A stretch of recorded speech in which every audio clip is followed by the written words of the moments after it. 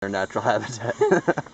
I've seen this on the TV, but I didn't. So know tell us about it, really Abby. was Well, it has you, like you see how the edges have it's like flares. It's like flat and it flares out. Mm-hmm. Oh, little guy. I'll put you back down. yeah, Uh, so we can take pictures. Platydesmus, or like that's the that's the um, Oh, genus it is, or not genus. Sorry, order.